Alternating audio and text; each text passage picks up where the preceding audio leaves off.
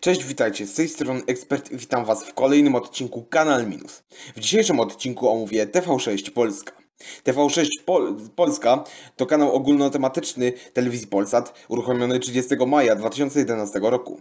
Kanał można oglądać zarówno na naziemnej telewizji cyfrowej, jak i u operatorów platform satelitarnych i kablowych.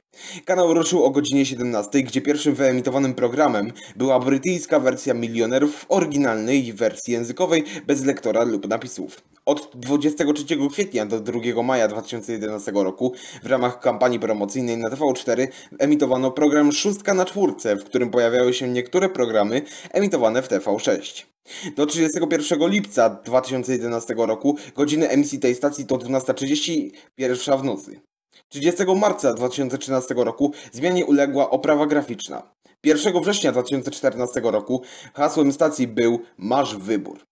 Programy emitowane w tej stacji to brytyjska wersja Milionerów w oryginalnej wersji językowej, amerykański Idol, Mam Talent, brytyjski Must Be The Music, Mask, Inspektor Gadget, Łebski Harry, Digimon, Czarodziejska z Księżyca, Ogi i Karaluchy, Jurut Tube, Śmierć na tysiąc sposobów, Władcy Much, czwarta i piąta seria polskiej wersji Big Bravera, Hole in the Wall, Czysta Chata, How Clean is Your House, Simba, Król Lew, Świat według Bandych, Miodowe lata, Strażnik Teksasu, Pomoc domowa, Rodzina zastępcza, Czarodzieje z Waverly Place, Czarodziejki, Nieśmiertelny, Przygody Merlina, Kasper i Przyjaciele, Klub Przyjaciół Myszki Miki, Kaczor Donald przedstawia, Kacze opowieści, Medicopter 117, Zamiana żon, polska wersja Wife Swap, amerykańska wersja Survivor, amerykańska wersja You Can Dance, Buffy, Postrach Wampirów i wiele innych.